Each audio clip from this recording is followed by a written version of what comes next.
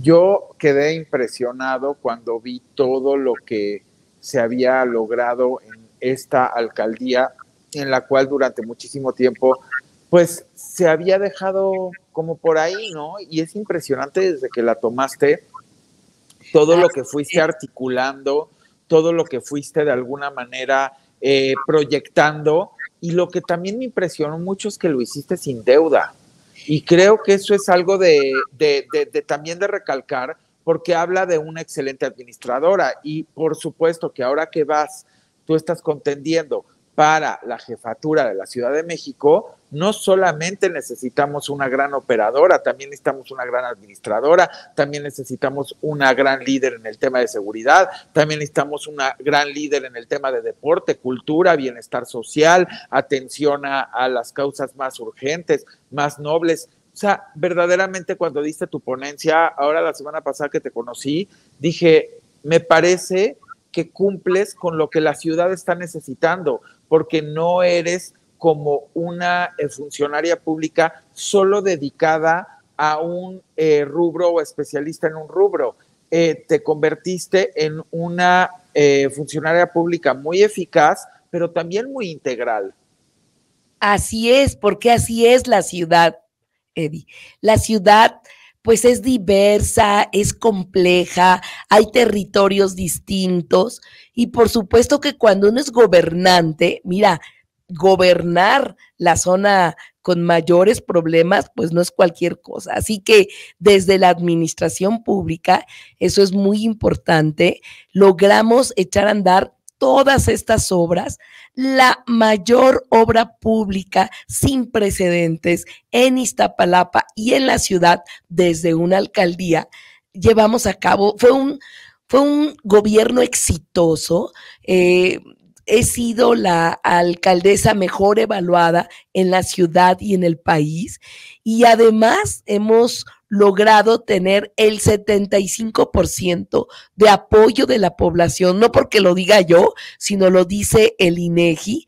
Entonces, obviamente lo que la gente siempre espera son resultados.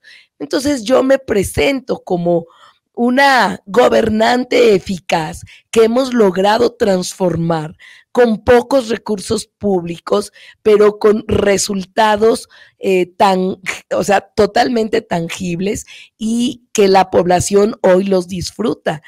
Tenemos eh, una infraestructura deportiva como pista de hielo, eh, donde se aprende hockey sobre hielo, patinaje artístico, el tercer velódromo de la ciudad, o a nivel cultural, el tercer, bueno, muchas áreas culturales importantes que, em, que, que se están desarrollando.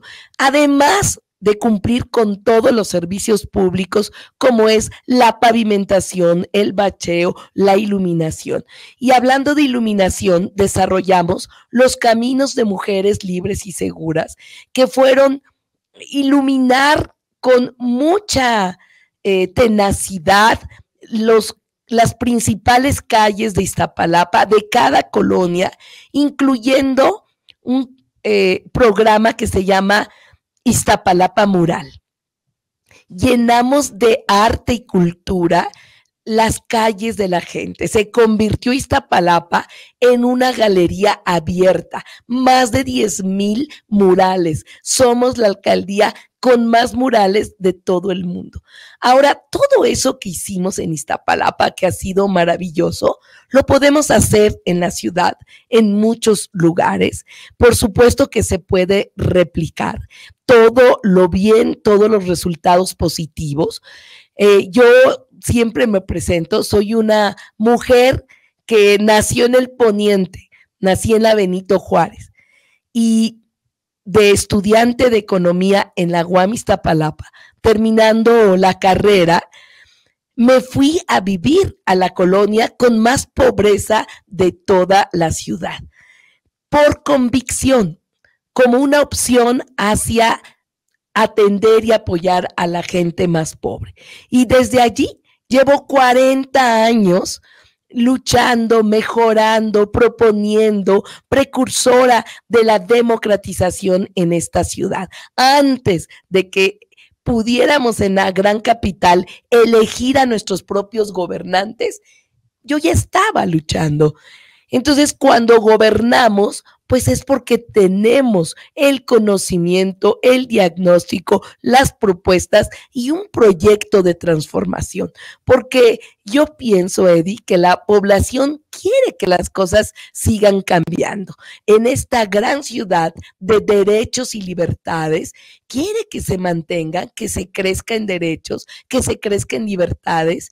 Y esa es la propuesta que tenemos.